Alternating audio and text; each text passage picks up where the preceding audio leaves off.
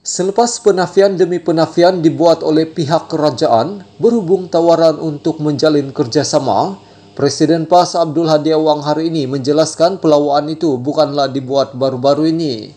Sebaliknya kata Abdul Hadi, tawaran yang diajukan kepadanya sebagai wakil kepada PAS untuk menyertai kerajaan dibuat selepas berakhirnya pilihan raya umum PRU ke-15 tahun lalu. Dia juga menegaskan tiada tawaran yang dibuat kepadanya selepas itu. Tawaran sertai kerajaan dibuat selepas pilihan raya yang terbaru. Tak adalah katanya. Ahli Parlimen Marang itu berkata demikian semasa menjawab soalan media selepas menghadiri program Terengganu International Summit TIS di Kuala Terengganu hari ini. Terdahulu Abdul Hadi ditanya mengenai perkembangan terbaru berhubung isu pelawaan yang didakwa dibuat pihak kerajaan untuk bekerjasama dengan PAS. Menegaskan sekali lagi kerajaan sekarang bukanlah kerajaan perpaduan, Abdul Hadi turut menegaskan PAS tidak akan menerima tawaran berkenaan. Sebaliknya kata bekas duta khas Perdana Menteri itu, PAS akan kekal bersama dengan parti pembangkang lain dengan dalam PN serta mengajak parti lain untuk menyertai gabungan berkenaan atas alasan mereka mempunyai kekuatan berbanding yang lain.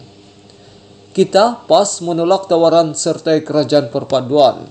Kita akan terus dengan PN dan kita mengajak pihak yang lain bersama kita kerana kita mendominasi rakyat. Jadi kekuatannya pada kita katanya. Abdul Hadi sebelum ini mendakwa dia beberapa kali dihubungi orang tertentu yang menawarkan kerjasama dalam kerajaan perpaduan.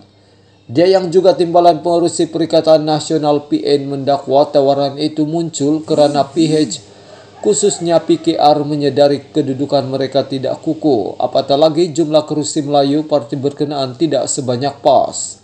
Bagaimanapun timbalan Perdana Menteri Ahmad Zaid Hamidi menyangkal dakwaan tersebut, dan meminta Abdul Hadi supaya tidak perasan.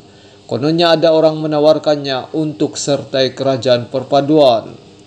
Selain Ahmad Zahid, Perdana Menteri Anwar Ibrahim turut menafikan bahawa dia atau mana-mana pimpinan kerajaan ada membuat tawaran seumpama itu.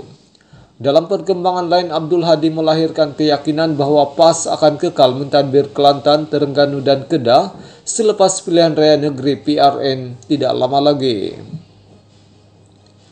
Malah katanya, dengan gelombang yang ditunjukkan rakyat pada PRU lalu, PAS juga yakin mampu menawan Selangor daripada PH.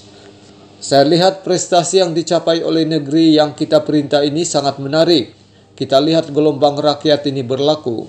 Dalam pilihan raya lalu, gelombang rakyat menolak parti lain dan menyokong kita, dan gelombang ini masih ada sehingga hari ini, khususnya di kalangan pengundi muda.